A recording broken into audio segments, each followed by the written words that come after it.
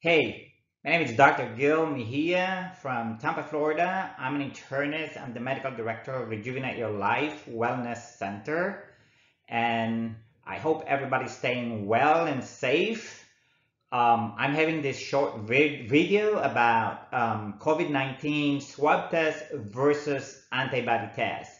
It's because uh, a lot of my patients are asking, what is a swab test? What is the antibody test? What's the difference between the two? Where can I get it? What's the significance of it? So hopefully this video would answer a lot of those and this is for everyone.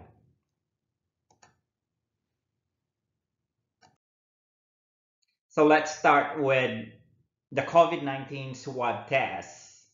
Um, what do we need? Uh, pretty much what we need is a specimen from your nose or your throat we pretty much swab it and we send it to the laboratory in which a clinical scientist would perform a PCR test.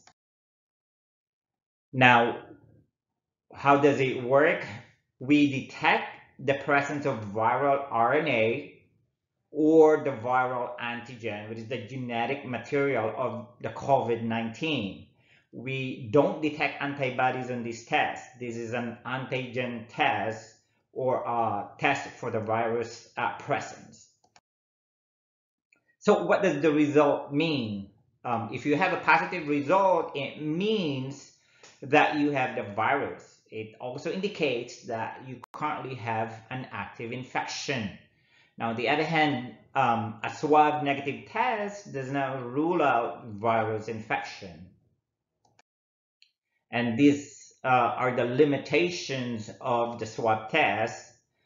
If you have a false uh, negative, which can happen, it could be because it's being done very, very early in the disease process. Now, you could have a false negative test if the specimen collection is inadequate. It's very important that the one that's going to be doing your swab collection has uh, experience of doing it. Now, although false positive can happen, it's really rare, but it can happen if there's a cross contamination or if there's a spe specimen mix-up. Now, how long does it take to get the results? So we've been doing swab tests here in USA for about a month now.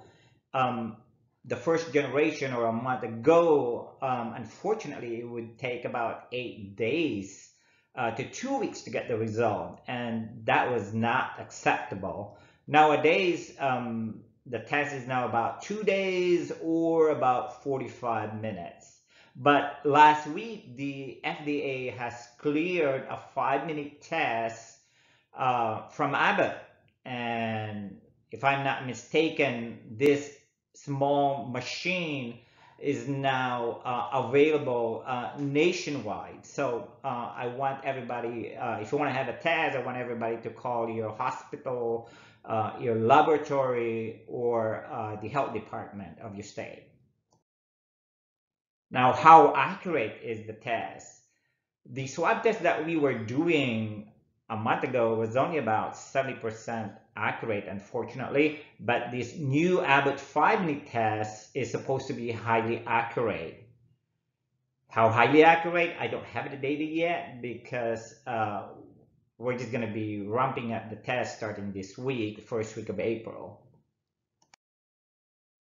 Now let's talk about the COVID-19 antibody test. What do we need from you? We just need a small blood. Uh, we will be doing a finger stick. It's like checking your sugar if you're diabetic.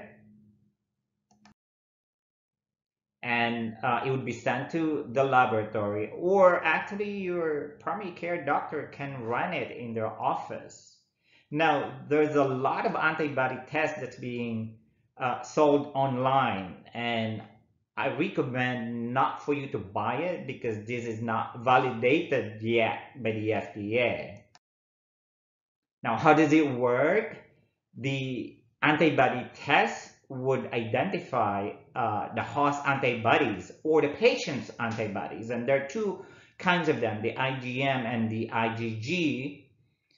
And again, it does, and this test does not provide uh, a definitive evidence of uh, current infection because it does not detect the presence of virus per se. Now, what does a positive result mean? It detects a current exposure or past exposure to the virus, not current infection, okay? And it also um, uh, inform whether a patient have recovered from the disease or the patient have immunity to the infection. There's also a limitation with the antibody test. The antibody test should not be used as the sole basis for the diagnosis of COVID-19. A false negative can happen if it's performed too early, and a false negative may also happen if the antibody is below the detection level, level of the kit.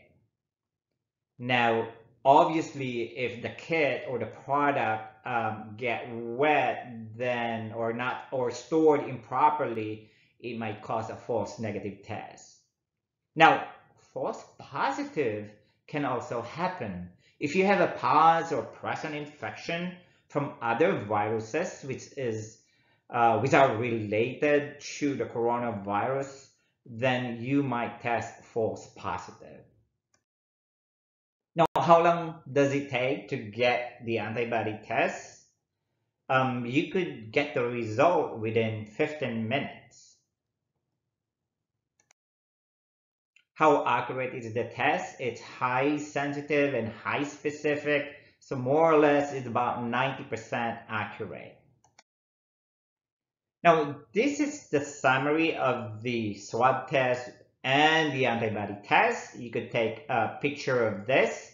Now, the question though is, which test should I be having?